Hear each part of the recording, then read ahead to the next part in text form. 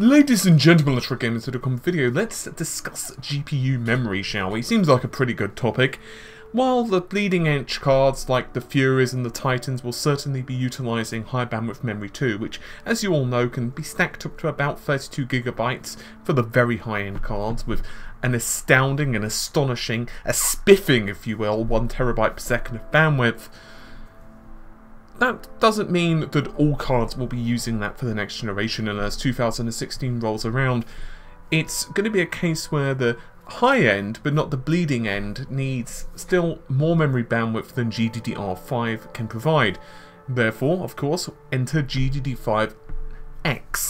JEDEC have finally published the specifications and it points to many things that we already knew about the new memory standard.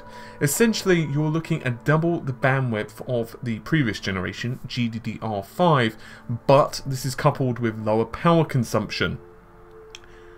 Now, obviously, the amount of memory bandwidth which the card is capable of will ultimately come down to numerous things such as how aggressively they clock the chips as well as the maximum amount of bus width they decide to go for. For example, are they going to go with something more serene such as 128-bit all the way to something more insane like 256, 384, 512 but assume that well regardless you can go with 256-bit bus and have a rather impressive 448 gigabytes per second of bandwidth.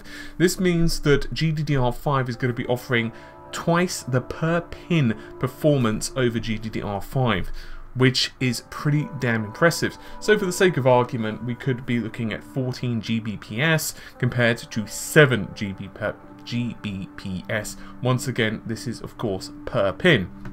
Now, a rather critical feature of uh, X. I'm just going to say 5 or X because keep consistently saying GDDR5X is a bit of a mouthful. So let's just say 5 and X for my sanity, shall we? Not yours, mine. And mine is the one that counts in this video. So as opposed to the 32-bit memory uh, access, or say 32-bit wide memory access of 5, X doubles this to 64-bit, uh, which theoretically at least, doubles the amount of memory bandwidth. The good thing, however, is that the voltages should remain the same in theory, but this is coupled with considerably higher density DIMMs. This is something that Micron have been working towards for some time now. In fact, I'm going to read out some of the uh, quote from Mian Quddus. Hopefully I'm pronouncing that correctly. That is M-I-A-N and then surname is Q-U-D-D-U-S. GDDR5X represents a significant leap forward for high-end GPU designs. Its performance improvements over the prior standards will help the enable next generation of graphics and other high performance applications. Now it is worth noting, and this is out of quote, uh, not the not the quote from the board of directors chairman of JEDEC, but instead my quote, that this is not going to be a, I guess you could say, a competing technology. JEDEC realised that this is not going to be a situation where they're going to be, you know, offering this, or rather other companies are going to be offering this to compete with HBM2. As I mentioned at the start of the video, instead it's going to be very much a supplemental memory technology situations where you know you still need the ultimate amount of memory bandwidth for example like very high end cards or you once again need very very low power solutions and uh, every last single watt of energy counts you're probably still going to find that solutions with HBM2 are the way to go. And let's face it this is not going to be changing now there is still some questions which to be honest with you we're waiting for, for example, GDDR 6, and there is some still a little bit of confusion whether 6 is going to be a thing or whether it was a PR, um, I guess you could say PR exercise, and we're instead just going to be seeing 5X, but for now at the very least, we're just going to have to wait for a formal announcement and then the products to start appearing on our shelves over the next several months. And I say several months because it looks like, of course, they're going to end up being featured on such GPUs as NVIDIA's Pascal or indeed AMD's Polaris-based GPUs when, of course, we finally see them in store shelves.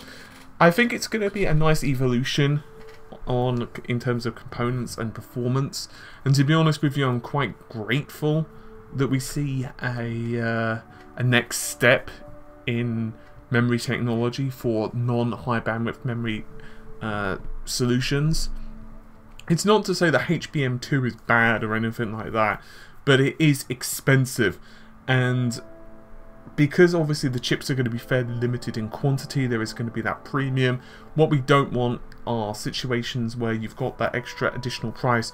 So I imagine the final lineup of Polaris is going to be, and by Polaris you can also take Pascal, or potentially even Volta for that matter, with the same stride, but something along the lines of the really low-end cards, potentially GDDR5, then you've got the mid-range to the higher range are probably going to be 5X, and then finally the, the really high-end cards are going to be, of course, high bandwidth memory 2. We're not quite sure where the, the battle lines are going to be drawn, as I've mentioned a couple of times now. So, once again, taking modern cards, let's say the, the 900 series from NVIDIA as a reference point, we could potentially say that the GTX Titan would certainly have high bandwidth memory too.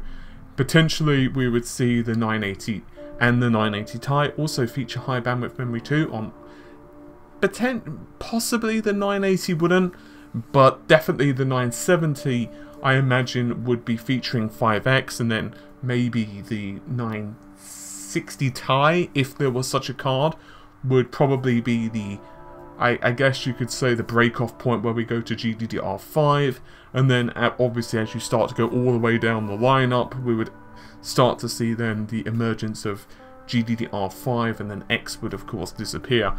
It's a good solution. It, um, hardware itself, and the rather the bus width for the cards can remain a little smaller because obviously you've got that extra memory bandwidth so you don't need to start drastically adding tons and tons of chips because the density is A higher and B you've got the additional speed. So you can go with a, a smaller bus width and it does ultimately in that instance does start to save power and saves and saves a lot of board space as well which obviously means smaller GPUs which is only a good thing because who wants to put in like a 24 inch behemoth into their PC obviously I might be slightly exaggerating on that maybe about 22 inches Hee hee. anyway Hopefully you've enjoyed the video. I'll see you soon. Take care. Bye for now.